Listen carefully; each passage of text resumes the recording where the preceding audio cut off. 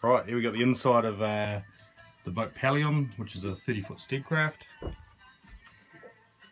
Very tidy.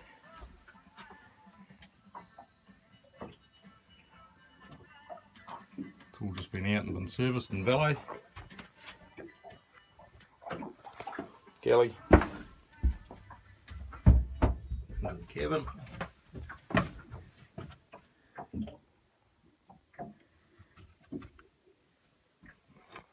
It's all in is in very tidy order and all the timber work's all really tidy.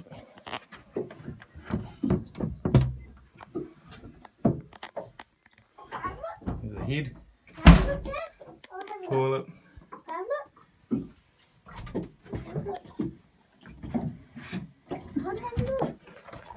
back inside the boat. Kept, in seating.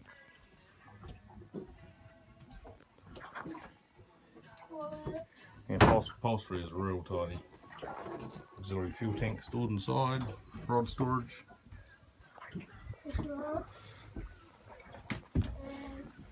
Back deck, auxiliary engine, 9.9 Yamaha four stroke with full remotes and electrics. Boarding ladder and duckboard up to the flybridge. Very large solar panel on top.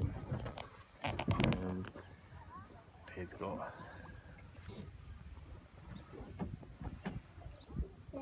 overall this boat is real tidy. Got rid of the engine.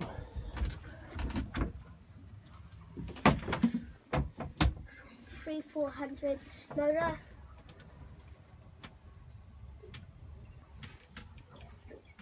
All just had its full annual service. Really tidy, no signs of corrosion or anything.